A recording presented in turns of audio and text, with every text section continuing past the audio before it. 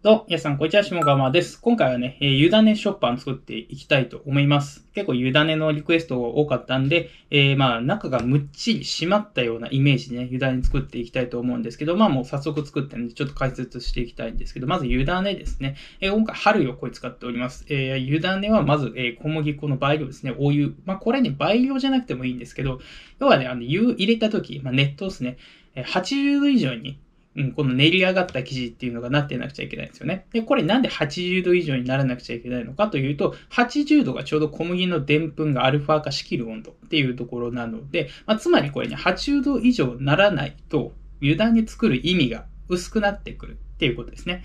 ちょうどね、あの、80度超えたあたりから本当になんていうんでしょう、お、お餅のあのね、あの、炊き上がったような、ついてる時のようなあの匂いがしてくるので、まあ、あれがアルファ化しているっていう証拠ですよね。っていうことなんで、まあ、ちょっと今回あの、測り忘れたんですけれども、このね、ボールもね、あんまり冷たいもの使っちゃうと、お湯入れた瞬間に冷めちゃうんで、えー最初の方にね、戻って見てもらうとわかると思うんですけど、若干あの湯煎して温めてました。あれはあのボールを温めてただけなんですけど、まあ、それくらいあの気を使わないと、仮にま100度の熱湯を入れたとしても、温度下がっちゃったら80度ってちょっとなりにくいので、若干ね気を使う必要があります。はい。で、まあ、小麦のね、2倍量入れてるっていうのも多くした方が80度になりやすいからっていうところですね。はい。で、えまあ、出来上がった湯種はですね、まあ、冷ましておいて、まあ冷蔵庫でもどこでもいいんで冷ましておいて、で、本語でまでにちょっと冷たくしておきましょうっていうところでね。はい。これがあの、本語での、えっ、ー、と、材料になっております。今回ね、ハード食パンっていうところでやっていこうと思っているので、えー、春よ来いと半分はね、リスドール使っております。まあ、これね、別に春よ来いじゃなくても、まあ、用意できない方は、まあ、カメリアでもいいでしょう。まあ、その場合ちょっとね、あの、伸び方変わってくるんで、そこら辺はちょっと最初発行のところでもう一回言いたいと思います。はいはい。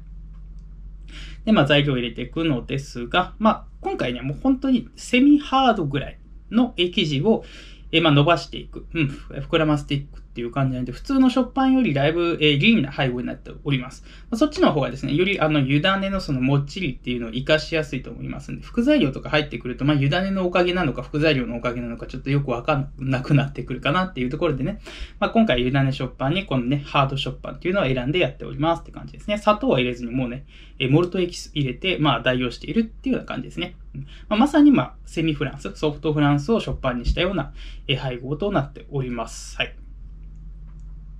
でね、あ、ちょっとこれも言っておきたいかなと思うところは、湯種作った時に、あの、湯種、え、出来上がったやつを、まあ、冷たくしていいのかとか、そこら辺の疑問ちょっとありますよね。湯種を、まあ、する意味っていうのは、一回アルファ化することによって、この澱粉を一回破壊してしまうっていうことが目的です。澱粉とタンパク質をですね、破壊っていうか、まあ、変質させるっていうことによって、もうね、えー、もう固まっちゃうんで、もう、澱粉はもう完璧に、まあ、もちっとした状態に塊になっちゃいますし、で、タンパク質はもう完璧に変質しちゃうんで、グルテンができなくなるんですね。はい。まあ、その状態にするのがそもそも目的なんで、そこで一回あの冷たくして、老化が始まるとか、そこら辺はとりあえず気にしなくていいです。湯種はとりあえず一回80度の熱湯で熱してやったら、その後はですね、冷蔵庫で保存しといてもいいので、まあだからこれ作り置きもできますね。うん。1日前にちょっと量多くして作っといてやって、って、まあ2、3日以内に使い切ればいいでしょう。湯種の方は。別にイーストも何も入ってないですしね。うん。まあ、そんな感じで、湯種は前もって用意しておいてもらっていいです。はい。で、それでこねていきましょう。で、今回ね、水分70%。まあ、普通の食パンにしたら、まあ、割と入っている方なんですけど、見ての通り結構ね、固めになっております。これはやっぱりですね、湯種っていうのを作るときに、こう、そこにも座れるっていうか、まあ、湯種にすることによって完璧に結合水の状態、1個の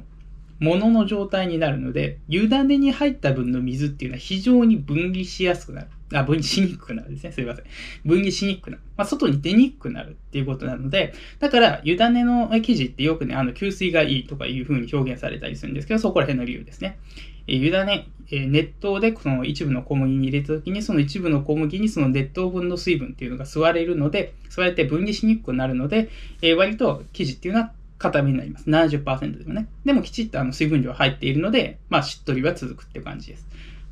で、まあこれ、こね揚げに関してなんですけれども、だいたいね、これ10分弱、まあ15分いかなかったぐらいかな、こねたんですけど、まあ見ての通りですね、薄い膜は張ってるんですけど、結構ブチブチちぎれ気味ですよね。これはやっぱ一部あのグルテン破壊されてるやつっていうのを入れていますので、非常にあのつながりっていうのが弱くなります。はい。なので、基本的にちょっとね、膜の張り方っていうのが弱くなるっていうところと、まあ、今回はこのソフトフランスの配合でやっていますので、あれくらいのちょっと、まあ、脆いかなっていうぐらいの膜で、えー、終了してやるっていう感じですね。この配合であんまりですね、こねすぎちゃうと、まあ、力つきすぎちゃって食べた時にちょっとパサつき感感じやすくなっちゃう。まあ、なんて言うんですかね、スカスカ感感じるようになってしまいますんで、ね、副材料が、えー、まあ、少ないのは、えー、コネがちょっと弱めにっていうのは、まあ、これ鉄則ですね。はい。で、これも普通に発酵させていきます。今回のね、発酵の予定は、えっ、と、1発酵80分して、パンチして40分っていう風にしていきたいと思います。まあ、そのためにちょっとドライイストも0.7%って少なめにしておりますね。長い時間ちょっと発酵させてやるっていうことによって、まあ、この生地のね、熟成とか進めてやるっていう、そういう、まあ、目論みがあります。で、まあ、一次発酵はね、これ食パンにしていくんで、えっ、と、割と大きめに膨らませる、しっかり緩ませるっていうのは意識してやってください。やっぱり高さを出さなくちゃいけないんで、食パンは。一次発酵である程度こう伸びる力っていうのをつけてやらなくちゃいけないので、食パンにする場合は一次発酵ですね。よく膨らませるようにしてやってください。はい。で、これね、今あの別に動画止まってるわけじゃないんですよ。ちょっと止まってますけどね。これ自分が静止してるだけです。これね、なんでわざわざこの部分を残しておいたかというと、そんだけあの、パンチするときって考えましょうっていうことを言いたかったんですよ。あの、止まってる時間自分ずっとあの、どうやってパンチしようかなっていうのを考えてたんですね。うん。で、結論、まあ、えっ、ー、と、二つ折りにして、もう一回二つ折りにしてっていうところで終わりにしたんですけど、これね、なぜこの形にしたかというと、あの二つ折りの真ん中のところから分割するときに切れば、あの、そんなにあの断面が、えー、変にこうぐちゃぐちゃならずに済むなっていうところでこの形にしたっていうの、多分まあちょっと伝わりにくかったと思うんですけど、まあ要はね、あのパンチってよく考えましょうっていう話をしたかったんですよ。はい。で、まあ食パンなんで割とね、えー、きちんとこうガスきっちり抜いて、えー、気泡を細かくしつつ、で、しっかり力もつけてやるっていう感じであれくらい折りました。はい。まあ、それがパンチですね。で、40分。このね、まあ、その1発酵の後の2次発酵の40分は、これはまあ、ベンチタイムと一緒ですよ。生地をまあ、戻してやってるっていう状態なんで、1発酵と同じぐらいの大きさになれば OK です。はい。で、これ分割していきますけど、これはまあ、大体ね、230g。こちょっとね、今回はちょっと若干少なくなりましたけど、これがまあ、あれですね、作る時の、まあ、手際というか、えちょっとボールにくっついちゃった分とかで減るので若干少なくなっちゃいましたけど、予定ではね、基本的に 230g で、費用石が、えっ、と、3.7か、になるようにして、予定してやっていたので、まあ皆さんそれでやっていただくとちょうどいいかなと思います。自分もね、まあ若干少なかったですけど、ほんと数グラムぐらいなんで。今回は一斤型使用して、体積が1700立方センチメートル、費用石が3.5で、まあ、生地重量が、まあ、480g、あ、そう、間違えた。3.7で、えー、っと、260、あ、460g。すいません、間違いばくりですね。はい、460g っていう計算でやっております。まあ、これも概要欄に書いておきますんで。はい。えー、で、えー、まあ、しっかりと締めてもらって、まあ、閉じ目はね、きっちり閉じなくていいです。もうそもそも緩みにくくなっちゃうんでね。で、30分くらいちょっと、えー、長めに、えー、しっかり緩ませてやったやつを、もう一回ですね、ちょっときっちり締め直してやるっていうことによって、まあ、よりね、伸びやすくしていきます。はい。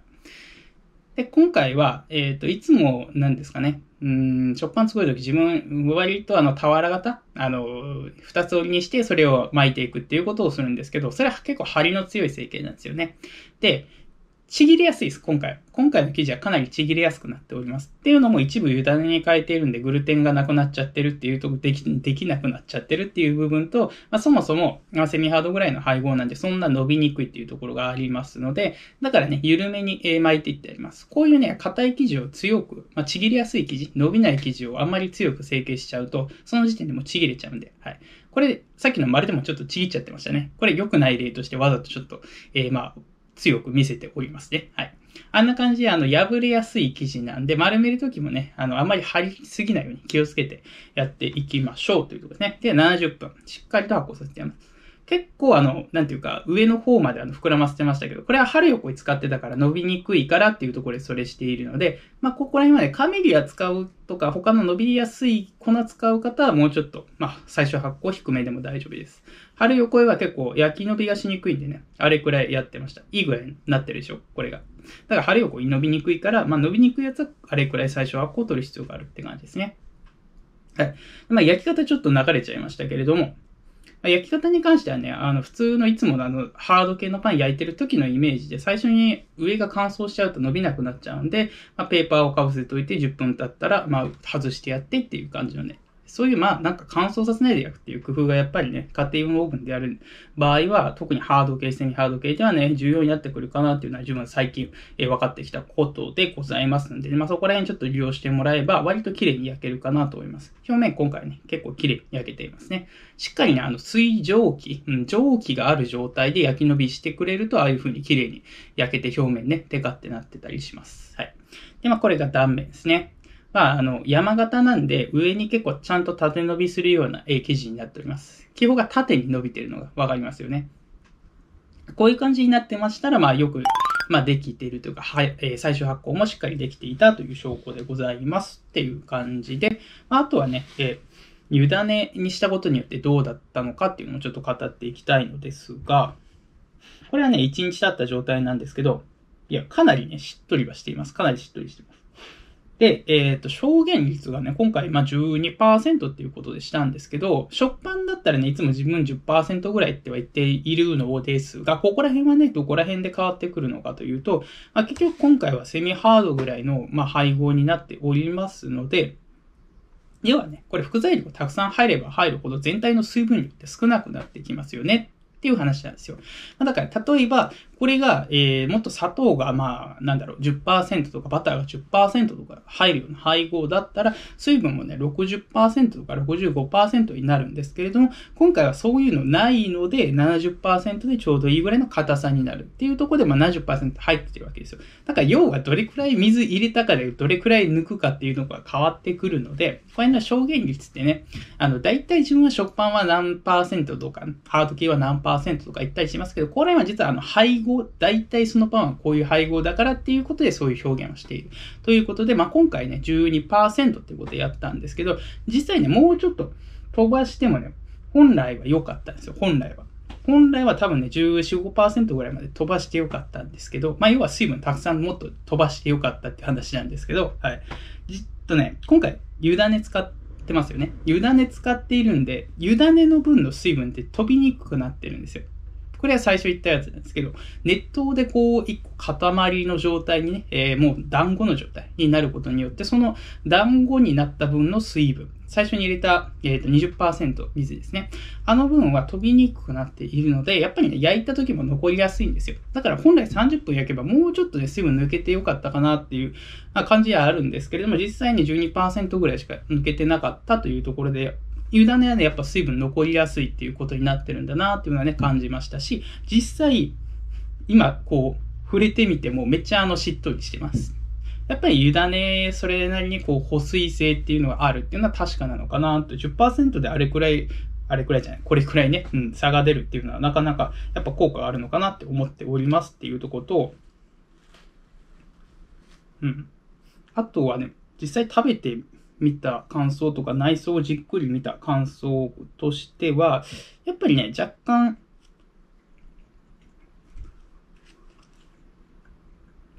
うん。重めになってるなっていう感じがしますね。若干重め？あ、重めっていうのは別にこれ悪い表現じゃなくて、要はどっしりしたような、うん、もっちり感っていうのがやっぱ強くなってます。まあその代わりね、本来この配合であればもうちょっと軽くなっててもよかったはずなんですけど、そこら辺ですよね、やっぱね。湯種使うともっちり重くなるっていうのは、